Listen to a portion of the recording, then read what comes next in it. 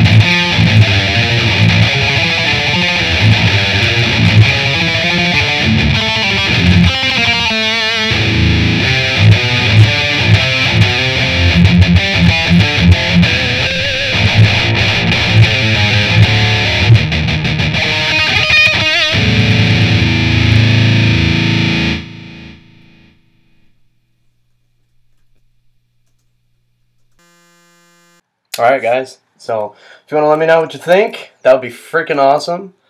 And uh, yeah, it's been a while since I've done a video, so I'll try and do these more often. I just have more of my songs up online. But anyway, if you want to listen to my music, go to www.reverbnation.com slash TonyGeb23. You can see my uh, solo stuff there. And then for my band, um, if you want to like us on Facebook, it's www.facebook.com slash I Among Giants. Anyway, you guys are awesome. Stay blessed and uh, leave some feedback.